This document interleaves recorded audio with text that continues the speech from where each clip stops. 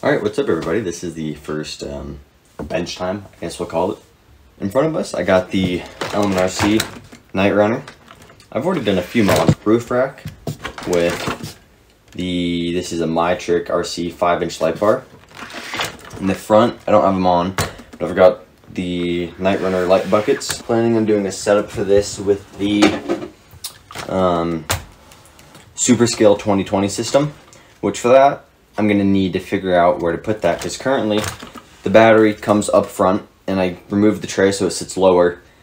But with the battery in the front, I can't have the full interior in. I can only have the back seats because it runs from the front and back. Right now we're going to be tackling wheels and tires. I've got a set of RC four-wheel drive, Goodyear Wrangler, MT, what are these? The MTRs. These are 1.9 wheels with a diameter of 4.19. I previously bought these J-Concepts landmines, and I didn't look at the outer diameter. These are 4.7 or something, and they are just way too big for what I want to do for this truck. These are the rims I'm going to be putting on. These are from Injora, I think. Injura? I'm not sure exactly where I got these. I don't remember. I'll put a link down in the description. I mounted up one of these J-Concepts landmines just because I was curious how it looked and how these beadlocks work. So I've never installed a pair of beadlocks. This is my first proper RC crawler. I've been using a Traxxas e-Revo for the past five years. This is my first proper crawler, so curious how these work. Now I've gotta take them off and put them on those four tires. Wish me luck.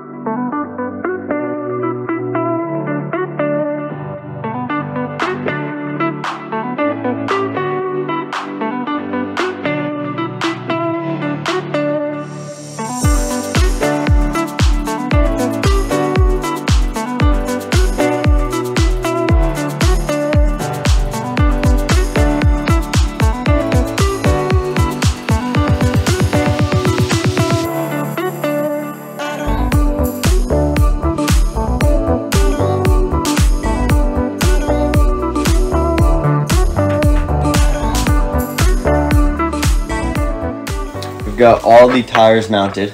My brother helped me out, which is sweet. Now we're going to put these bad boys on. They are looking good, and I think this is going to look freaking amazing when they're mounted up.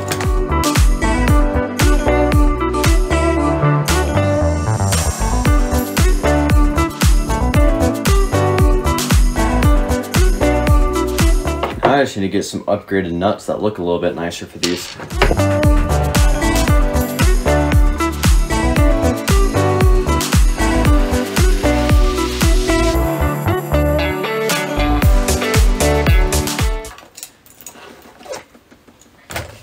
Alright, we got those wheels on. Holy crap, they look good. If I was bottoming out on these uh, fenders before, I'm definitely bottoming out on them now. I'm gonna have to figure out something to do with that. Check that out. I mean, they're not a heck of a ton bigger, they are decently bigger.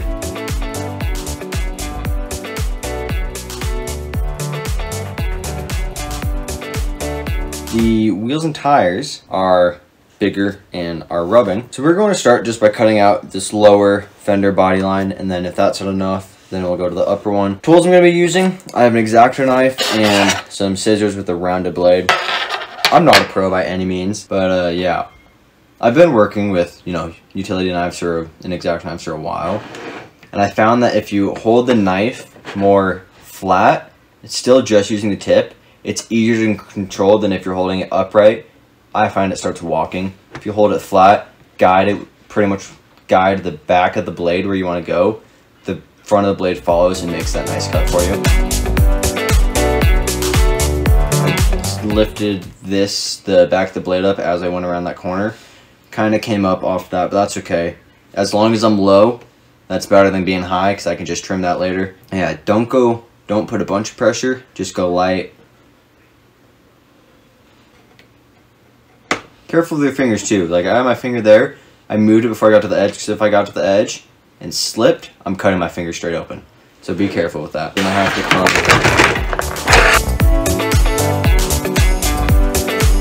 Nice thing about Lexan is once you do score, the blade follows the line pretty nicely. Just be light.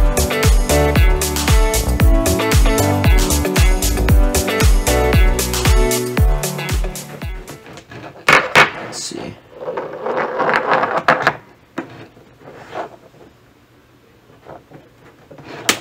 There we go. There we go. Okay, well.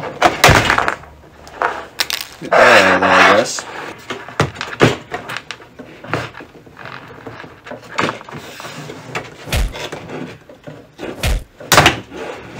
There we go. So that's the first one cut. It's a bit rough. There's this one guy I've been watching recently who's been kind of pushing me over building like my own completely custom RC car, doing frames, you know, all that. His name's Waffles RC. I'll put a link down in the description. I've been loving his videos recently.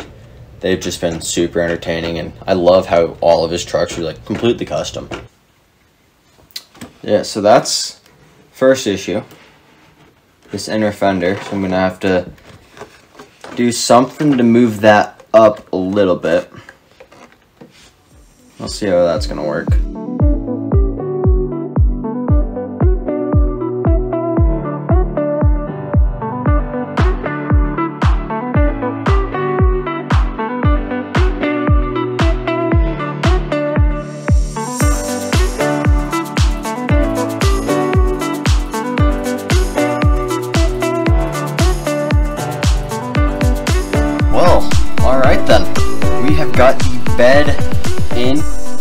Bumper is flush.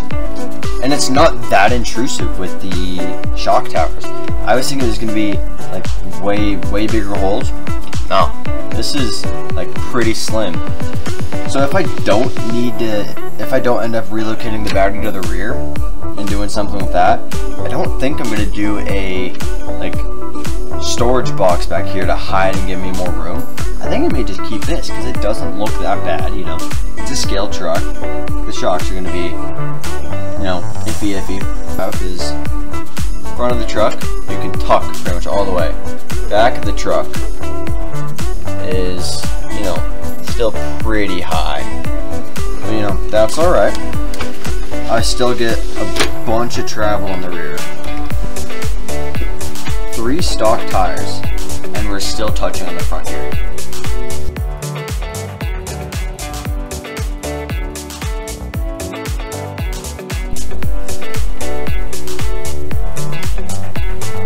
One roll of duct tape, barely. So almost three tires under there, just shy. This rig is turning out amazing. I'm loving everything about it so far. This, yeah, it's better, it's better than I imagined. So let me know what you think of this beautiful truck. Let me know what you would do for this truck, what you would put on it. Let me know what rigs you guys are running down in the description down below. I'm curious, I want to see what you guys are running. Maybe I'll buy a truck if you guys recommend it to start building. Uh, yeah, thank you guys so much. I'll link tires, wheels down in the description down below. Thank you guys so much for watching. Peace out.